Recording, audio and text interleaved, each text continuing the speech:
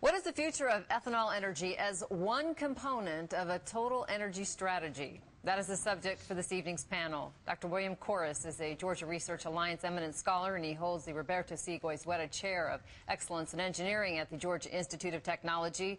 Dr. Stephen Miller is a senior consulting scientist at Chevron Energy Technology Company in Houston, Texas. His work includes the research and development of applications to refine chemicals. Nick Bowdish is director of marketing and sales for Fagen Incorporated, located in Granite Falls, Minnesota. Fagen is the largest developer and builder of ethanol plants in North America. And Tom Claugus is president and majority stockholder of GMT Capital, an Atlanta private equity firm with almost $3 billion in assets under management.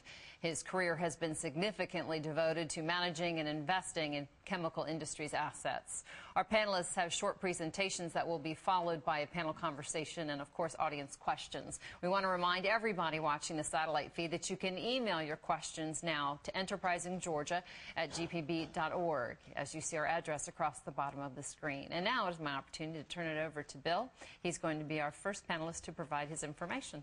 Thank you, Susan, and thank you to everyone for being here. Uh, I've got two slides, really two and a half slides maybe, uh, to put a framework around, I think, the topic that will be discussed by uh, the whole panel. Uh, and a good place to start uh, would be the first slide that shows uh, essentially a very simple looking uh, set of three blocks together. And this is essentially the basis for uh, ethanolic fuels. It looks simple. You bring wood or some kind of a biomass in, and then you do a process called pretreatment, which essentially means you open up that biomass so that it can be accessed easily by uh, an enzyme, and that enzyme gets in and does its magic. Uh, and essentially ferments, and then ultimately, uh, what ends up, what one ends up with is a solution it's a solution of ethanol and water, and the only problem is it's mostly water. Um, and the net result of that means that to get that into a form that is 99% ethanol, which is what we need, uh, you have to go through a significant uh, amount of energy usage. And in fact, uh, two thirds at least of the energy that goes into that process uh, end up in something that appears almost invisible, and that is the separation process. Uh, if I could have the next slide. Uh, uh, half of this problem is related to what comes in the front end. There's another part that uh, is shown here, and that is that not everything gets turned into ethanol. Uh, a significant amount of unconverted residue ends up, and you can decide several things to do with this. One is to burn it, to use it as a fuel. Another thing you could do is take a more advanced route, go through several additional reactive steps and another separation.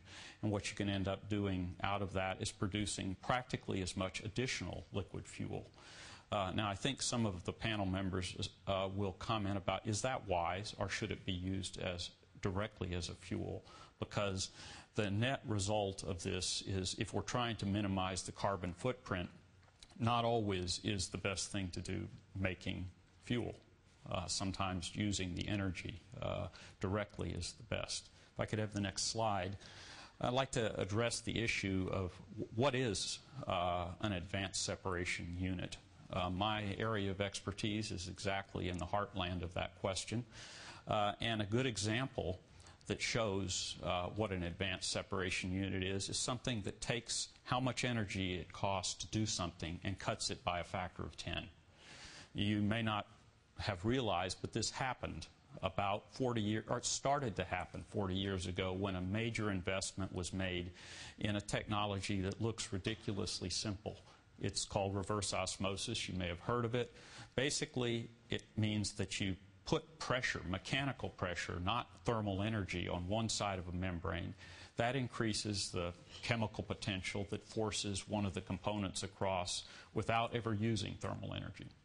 The net effect of this is that what used to be a thermally driven process for distilling water now uh, is largely been displaced. All of the new plants practically that are being built are built around uh, this more advanced technology that uses about a tenth as much energy produce, to produce uh, a unit of, of water. And there is no new water on the globe, um, and so you'll see more and more about this. But that's last year's answer. What we need to do is extend this into uh, the new domain and start looking at how can this be extended to the ethanolic or other kinds of separations to, to seek this factor of 10 reduction in energy intensity.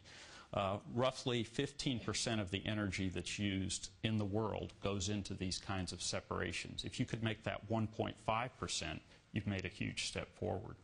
Uh, the technology is underdeveloped but it's at a very slow pace because actually uh, I think there isn't really a focus or an awareness of how important this part of the problem is. And so if I had to say one thing that needs to be done, there needs to be a much greater emphasis on, on, on this simple topic uh, that can have so many applications.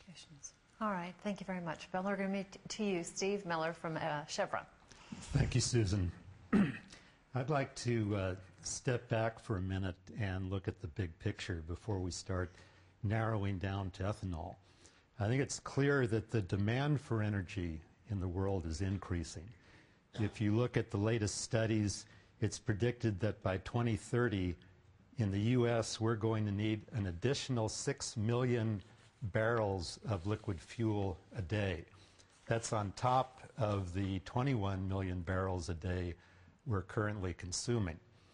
And then if you look outside the U.S., demand is going up even faster. So what's really less certain, frankly, is, is where are all those barrels going to come from? That's why we really need to look at all potential major sources of transportation fuel. We just can't afford, given all of the competition for oil, to neglect anything at this point. Um, by major, we're talking about transportation fuels that we can make in large quantities and also where we can capture economies of scale in order to deliver that fuel to the consumer at a competitive cost. Uh, we also need to take into account infrastructure. In other words, transportation of the feedstock, transportation of the product, getting that product to the customer. And while these aren't big problems at a few thousand barrels a day, when you're talking about a few million barrels a day, you can run into some major obstacles. The other thing is we need to, when we're talking about new feedstocks, there could very likely be new business models. In other words, we may not want a concentrated refinery. We may want a distributed system, but that's going to present new challenges. And then finally, we need to take account of the big picture. All of the things which don't seem apparent, but which are important, like constraints on carbon. Uh, next slide, please. So where is where are all these barrels going to come from? The first place, obviously, is oil. But we need to keep in mind that the oil we're going to find in the future will be in more remote areas. It'll be farther offshore. It'll be harder to find, harder to get to, and more expensive to produce. And so that means, again, we need to look at other sources besides oil. Coal is one potential source. We have a quarter of the world's uh, uh, reserves, and another, of course, is uh, biofuels. Uh, next slide, please. And so, again, just going back to the point I raised before, we need to look at all sources of, of fuel. Technology is going to be critical. And by technology, I'm talking about developing these resources, um, producing them, transporting them, processing into the kinds of products that we want to put in our car, and then also handling the waste products that are produced. Um, also, uh, conservation and energy efficiency are going to be very important. We're not going to be successful in what we want to do if we just deal with the supply side of the equation. We need to also deal with a demand side. And there's a lot that we can do there, and I suppose we can talk about this later, to reduce our uh, fuel usage. And finally, how we go about developing these sources are going to be important when we're talking about millions of barrels a day. And this gets down to what I like to call our tenets of operation. The first is to minimize the impact on food and water. Uh, water is really important, I understand, in Georgia. It certainly is in California. We need to produce more fuel with less water. We need to be environmentally responsible. So, getting back to water, we need to make sure that our streams and rivers aren't contaminated by pollutants such as phosphate fertilizers and pesticides. And lastly, we need to preserve the biodiversity of our planet and, and various ecosystems. Thank you. All right, thank you very much. All right, Nick, you're up. Nick Bowdish from Fagen Incorporated. Thanks, Susan. Good evening, everyone. It's a pleasure to, to join you tonight and honor to speak to you on behalf of Ron and Diane Fagen, who are the owners of our company, family-owned company in Granite Falls, Minnesota. Fagen Inc. is the largest builder of uh, ethanol plants. We build dry mill corn-based ethanol plants all across the United States. We've got a project down in Camilla, Georgia, uh, roughly 180 miles south of, of here in Atlanta. But where Fagen Inc. Uh, got its start was as an industrial contractor.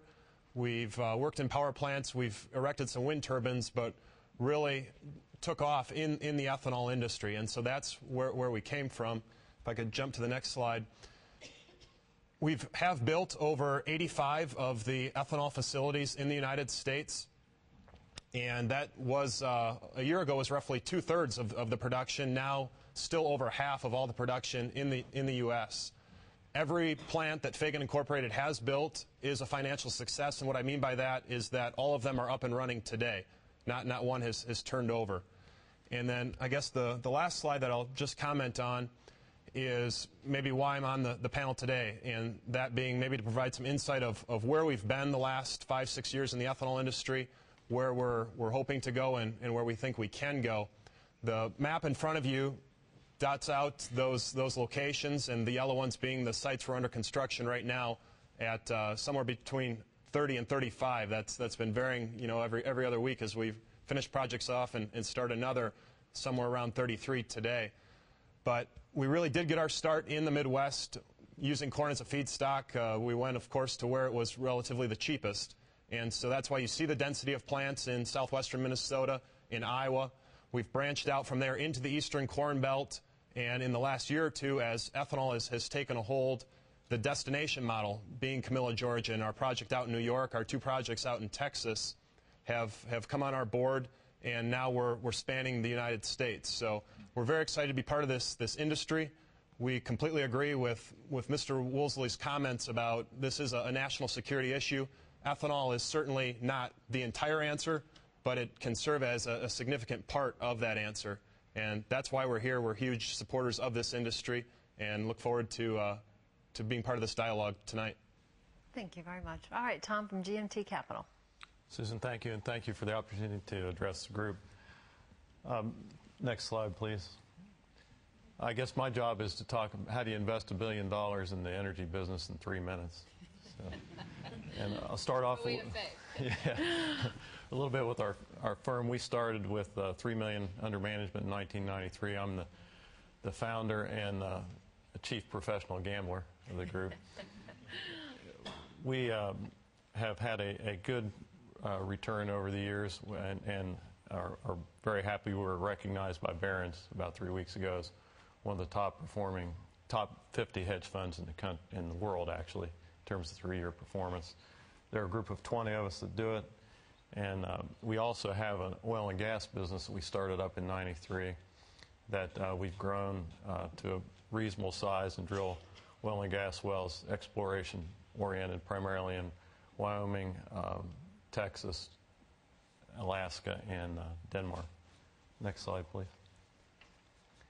We started looking at, at the um, one of the things we do is we, we go through a process where, where we try to lay out a bunch of facts, and we spend a lot of time trying to come up with things we're 90% sure of.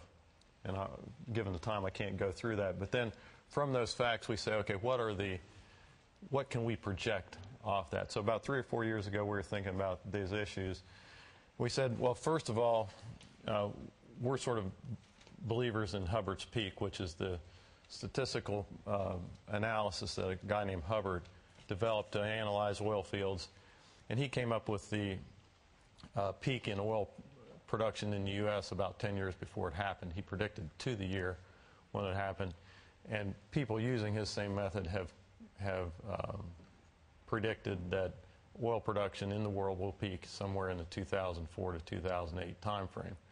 So as an investor, if you, if, if you believe that, you say, well, you know, how do I take, take advantage of this? Um, next, uh, you know, the arable land in China and many other places is, is going down as, as deserts encroach and you have population growth. So you have a, a question of arable land going down. And then we, we felt like the um, growth in emerging markets would create demand for all these kinds of things. So we said, okay, well, how can we, how can we take advantage of this? And we said, well, first of all, you want to be long energy, um, really in almost any kind of form that you, you can find where you can be competitive in it. Um, we also thought about basic materials, copper, those kinds of things, because uh, they would supply the growing emerging economies. Uh, agriculture uh, to feed people, and you had the ethanol uh, subsidy coming in. We said that that would be a growth area, and all these things, in a way, are saying you want to be borrowing dollars because it's going to be the weak currency, and buy hard assets overseas. So interestingly enough, when we when we put all this together and said, okay, how do we invest in this? We actually did almost everything except ethanol. And the reason we didn't do ethanol was, uh, first of all, we thought it was uh, it's subsidized, 50 cents a gallon, and we don't like subsidies because government policy can change, and we can't predict when that's going to change. Uh, secondly, and this is a stock market thing, when ethanol equities came public, they came public in an environment of very a lot of excitement, and the prices were very high. And so we said, you know, we don't really like the prices of, of the ethanols. Uh, third, at the, you know, even a year ago, ethanol was, we thought, overpriced. It was trading at 50 cents a gallon above wholesale gasoline. And we, and it, as you know, probably it's, it's, it's uh, value as a fuel is about 75% of the of gasoline. In other words, you get 75% of the energy from a gallon of gas of ethanol that you get from gallon of gasoline. So we thought it should trade at 75% of the price of wholesale gasoline plus the subsidy, which would make it roughly the. So we thought ethanol prices would come down. We also felt that um, the corn supply, when you did the math about how much corn it was going to take to produce all this ethanol, you said, well, maybe I should just own corn. Uh, and maybe the economic rent, instead of going to the ethanol producer, goes to the corn producer because it's harder to, to uh, add corn capacity than it is ethanol capacity. Um, so anyway, putting all those things together steered us away from ethanol, and we actually invested heavily in the fertilizer producers, um, the seed manufacturers, uh, oil and gas companies, and um, and even went spent a lot of time in Argentina because we said if we can go to the place where it's cheapest to produce corn in the world, how do we lose money doing that? Uh, but didn't do that because it looked like too much work. Uh, we are revisiting ethanol right now because prices are very low. We think they can come back. The stocks have come way in. Uh, we probably won't invest in it because it's a commodity business. There's a lot of plants being built. Still depends on a subsidy. And we think that there will be other, perhaps more efficient ways to get uh, liquid fuels that come along down the pike that we will probably invest in. Thanks. All right. Thanks, Tom. All right, this is your opportunity for anyone who has questions. You can make your way to the microphone. I do have an email uh, question that was brought in to me that I'll go ahead and read for you. And again, if you have a question you'd like to direct at one particular member of the panel, that is fine. If you wanted a general, feel free to explain that as well. I've told them not to be limited. If the question, for instance, is directed at Bill, but Nick wants to respond, he has my permission up front to do so. Uh, this is from uh, David McDonald. Past attempts to become independent of foreign oil have been derailed by brief periods of cheap oil. What will keep this from happening again? Anyone want to take that? Go ahead, Tom. Well, we would say oil's cheap now. Uh, it's, it's, you know, get, you can go, drive up, you know, you, you find oil in Saudi Arabia, you put it on a ship, you ship it all the way over here and you get it delivered to you into your tank for $3 a gallon, which is 40 cents a pound, it's still way cheap, and that's why we're still hooked on gasoline, and that's why it's so difficult for us to find alternative and get ourselves unhooked. It's just it's just very very cheap. And if you look at what the real cost of making ethanol is in terms of land use, et cetera, et cetera, while ethanol is a great way to do it, it's it is expensive. Do you think the comment that uh, James Woolsey had made earlier about the reality that every time we fill up our SUV, we're essentially sending money to Saudi Arabia that is then training the terrorists? Do you think any of that? Do you think that connection is made? And I don't mean to to undermine the public, but um, but do you think that that has any well, you know, we live in an push or pull. Yeah, we live in an interconnected world. I'd say every time you buy a Barbie doll, you're funding the Chinese and and I and I think that it's it's it's a serious problem, right? Mm-hmm. I mean, the the concentration and the specialization of the world, which is what's going on. Mm-hmm. You know, maybe the Saudis are a little afraid that we have a huge impact on the food supply, right? I mean, the world is interconnected, and as much as we'd like to have that not be the case, it is the case. Okay. All right. Anyone else want to weigh yes, in? Go ahead. I'd, I'd like to talk about this issue a little bit. Uh, first of all, the whole concept of being independent, mm-hmm. I don't think is realistic. Uh, we import about uh, 75%. Uh, well, it's, it's, it's approaching 75% of our oil. The other thing that I think the audience needs to be aware of is the main country that we get oil from is Canada.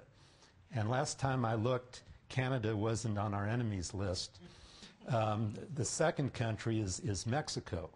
Uh, Saudi Arabia is, is third. Um, I think it's, it's more important that we have energy security. That is doable. And if we focus on that, uh, there's a lot that we can do there to achieve that. Uh, the, trying to be totally independent is, I think, unrealistic. Do you have any thoughts? We're moving on. Go ahead. Tell me your name and where you're from. John Stroop. John from Atlanta, Slayton Search Partners. Uh, my question is about sugarcane and ethanol.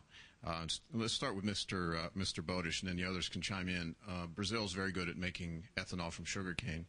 Um, as I understand it, we at least used to grow a lot of sugarcane in the southeast. Are you building any plants? Is there investment in sugarcane, and would that be a good avenue for us versus corn or cellulosic uh, to just uh, go in the sugarcane to ethanol business? Sure. Thanks. Thanks, John. Um, the the answer to that is we, we get a lot of questions and, and, phone calls. Can can we build those plants? Do we have that technology? Can we use sugar beets up in, in the Red River Valley of the Dakotas and, and Minnesota? And the answer in the States is that it's not the cheapest cost of production in the United States because of the structure of, of dollars and subsidies for our sugar market. So while it is true that Brazil does produce it the cheapest in Brazil, it's not cost effective in the United States, and, and corn is king, and that's really where, where we started and, and why we're there.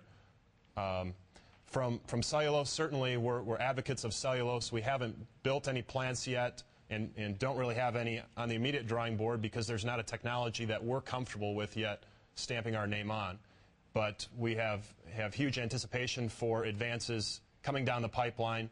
And when we can get that comfort level and the investment community can get that comfort level, we hope to participate in that round. So that's really why we, we build corn ethanol plants because in the United States, given the structure of, of the economics, corn is king. Thank you, John. Go ahead and tell us your name. Could I chime in? Of course, on that? I absolutely, Bill. uh, Sorry. the the flow diagram that I showed sh- uh, indicated that one of the key parts is pre-treatment before you ever begin to do the, the process. And I think the cellulosic ethanol, uh, that's a bottleneck. Uh, it's a technology bottleneck that is being addressed uh, recently. Oak Ridge National Lab, Georgia Tech, and several other uh, institutions received a large Department of Energy grant aimed at dealing with the recalcitrance of, of, of cellulosics. Uh, it's not an unsolvable problem, but it's a very difficult problem. And I think, uh, obviously, in the southeast here, we have we're sitting on a, a gold mine of, uh, of resource, but to actually use it as effectively as we'd like, I think we need to deal with this uh, getting open the structure so that the, uh, the enzymes can do their magic. Do you have any time frame on that, Bill? Tomorrow, no. Uh, Everything's always three to five years. yeah, uh, ahead, I, yeah. I, I think the goal, the the people that I've heard say that it's probably five or so years before. Uh, it's a very difficult problem. Mm-hmm. It doesn't mean that it can't be done now. It just can't be done uh, as well as we'd like. So there, it, it's definitely possible to deal with the pretreatment now. It just Mm-hmm. costs money. Have you checked out Brazil? Because I think Brazil is, they are saying that their government funded researchers are saying that they do have a process that is working. Well, if you look at the, again, at that slide, uh, it says you deliver wood or biomass, and uh, if you're delivering sugarcane, the pretreatment is almost nothing. Uh, you don't have to do the same kind of a, a process that you do for corn, or which is cheaper than for cellulose. So I think the front end of the problem uh, is, is very real. The back end that I talked about in terms of the energy footprint and carbon footprint is, is also very big. But to really get on the playing field with cellulosics, you need to deal with this pretreatment issue. All right. Go ahead and tell us your name.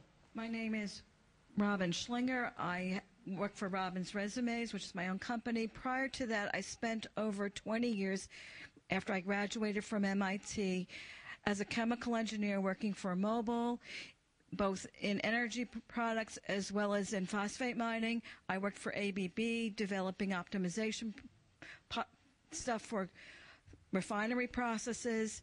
I also worked in the paper industry for a little bit, so I understand your cellulose stuff. I also understand I spent time in Brazil where, driving cars that were based in alcohol technology in the 80s.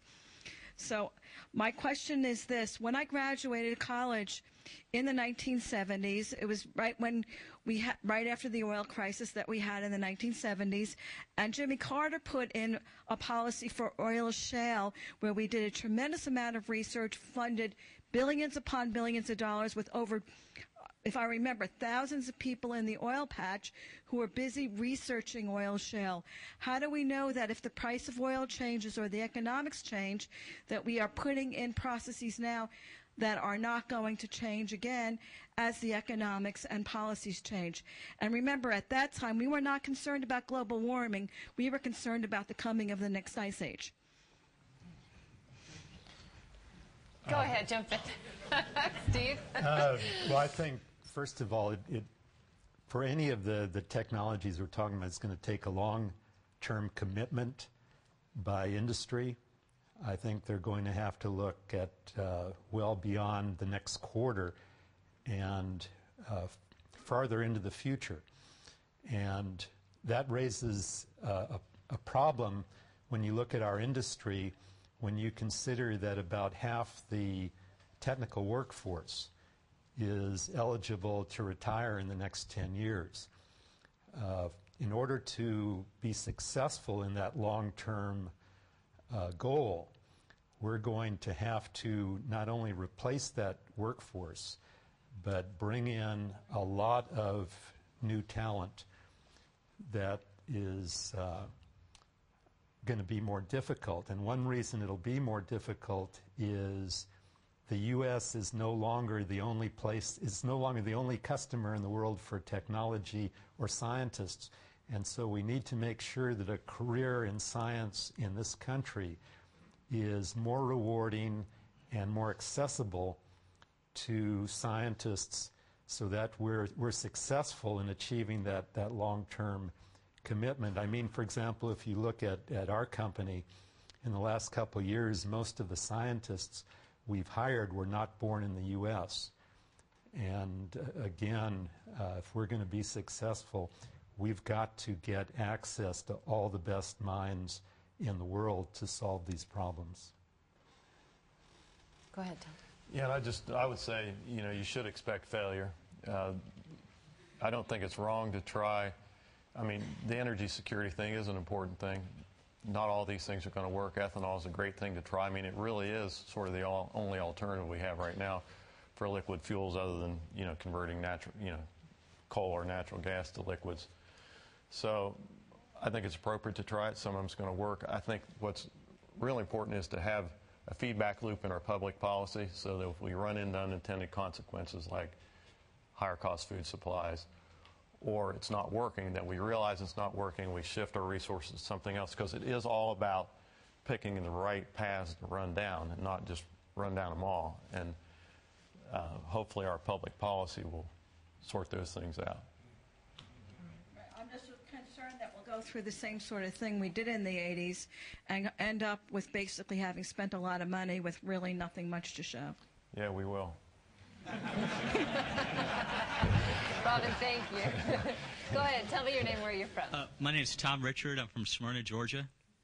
Uh, should the Pentagon formally fund uh, alternative energy, and should the government try to expand mass transit? Who wants to handle that one? Well, I think to, to start, I, I think the government does have a role to support energy, and particularly in these new technologies in the, the cellulose side, to offset that risk that uh, a private entity necessarily can't take on and afford to fail because their entire business is then jeopardized and over. I think it's, it's important for them to serve that role and to absorb some of that risk in partnership with, with the private entity. And I think you know that has been important in the six different projects that uh, the, government has funded, along with the three bioscience research centers across the nation. So that role is, is certainly important um, from our, our standpoint in, in, public transport. Absolutely, I, I think it's important. I think it's going to take a lot of different things. We certainly aren't aren't sitting in our office thinking, uh, again, that ethanol or, or be it corn-based or cellulose is, is going to take us away from where we, where we import that crude oil from. And I think what's important to mention, Steve mentioned a minute ago, Canada, Mexico, Saudi Arabia are, are the first three on the list, but also recognize the next three, Iraq, Iran, and Nigeria. So there is a real issue here, and, and Mr. Woolsey talked about that and that is we, we need to take some of these barrels of, of crude oil that we import and find a way to not need to. And so public transportation certainly is, is an aspect and a key part of that. Jim, you'd like to jump in. Just Please, a quick uh, point on the Defense Department. I've recently been on a Defense Science Board panel uh, looking at exactly this issue, so I thought I'd just make one point. Um, in uh, uh, defense, one of the biggest concerns is how to make sure that military bases in the U.S. continue to operate if the grid goes down. So that puts the Defense Department in the business of figuring out a way to do renewables, to island themselves, to to get uh, from the grid to um, uh, um, do uh, essentially a triage of their electricity needs, to do what they can. And that's one thing you see in the Defense Advanced Research Projects Agency doing some very good recent work on photovoltaics. So there's a, the whole electricity in the U.S. side of things is something of great interest to the Defense Department. The other thing is that the, about three quarters of the Defense Department's energy fuel needs anyway are for aviation fuel. Most of it's bought overseas when you deploy. So for fuel in the United States, although there's been a push to move to coal to liquid, I think most people are now thinking that what you would do is for training here in the United States, use the fuel that you can get from the market, but uh, uh, focus on reducing the energy requirements of things like fighter aircraft and the rest with uh, substantial new designs to radically, particularly helicopters, to reduce their fuel requirements. Okay. All right. Thank you, Jim. Go ahead. Um, I'd like to answer that question in a different way, and it gets back to a comment that was made with the last uh, question that that nothing came out of the, the work in, in the 80s. Well, in fact, something did come out of that, and what came out of it was a tremendous improvement in energy efficiency. Uh, if you look at cars, the, the uh, average gas mileage went up during that point, and, and in recent years, the, the energy efficiency of engines has continued to improve, but the problem is the cars have been getting heavier, and so that the gas mileage hasn't improved at all. And so on the other side of that equation, as I was talking about, is, is demand. And one area that the government can certainly make changes in is uh, gas mileage for automobiles. Um, I don't think we need to wait for plug-in hybrids. The, the problem I have with, with that whole discussion is it sort of says, let's wait for this new technology to come along and then we'll do something about it. Remember, if you go from 50 miles a gallon to 100 miles a gallon, you drive 100 miles, you've only saved one gallon of gasoline. But if you can go from 25 miles a gallon to 50, now when you drive 100 miles, you save two gallons. And that's something that we can do today. They're doing it in Europe. There's no reason why this country shouldn't have as much efficiency in its automobiles as you have in other parts of the world.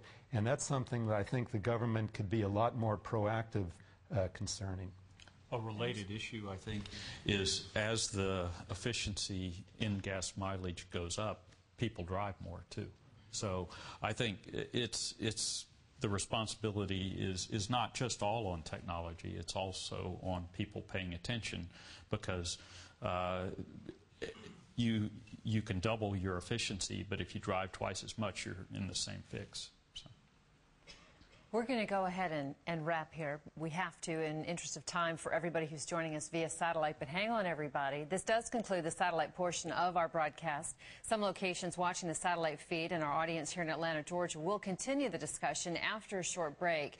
We would like to thank our keynote speaker, James Woolsey, our panelists, the program partners, and tonight's event sponsor, General Electric, for making this event possible.